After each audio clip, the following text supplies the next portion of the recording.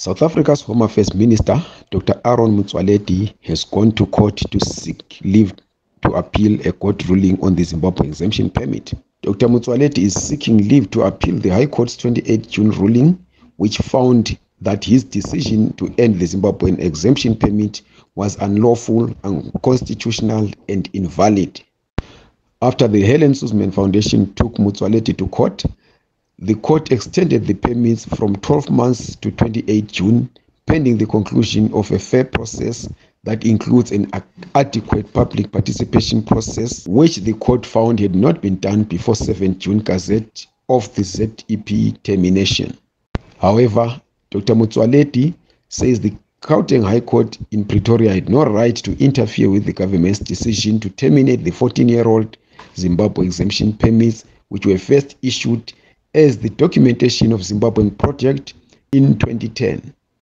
The minister, who had already extended the validity of the moratorium given to ZEP holders to 31 December 2023, says he has got no qualms with extending again depending on the application process and the adjudication of those applications already presented. Due to a combination of factors which include the slow adjudication process and existing backlogs in, in other applications, many Zimbabweans who applied for their waivers last year have not yet been able to get them.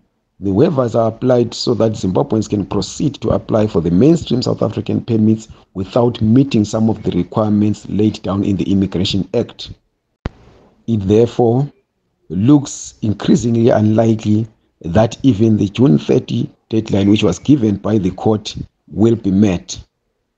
On the other hand, the Helen Suzman Foundation seeks the court to force the minister to implement the court ruling of June 28 and extend the validity of the ZEP until the minister has finished all the court processes that he seeks to undertake. Xolisi Ncube, AVG News, Johannesburg.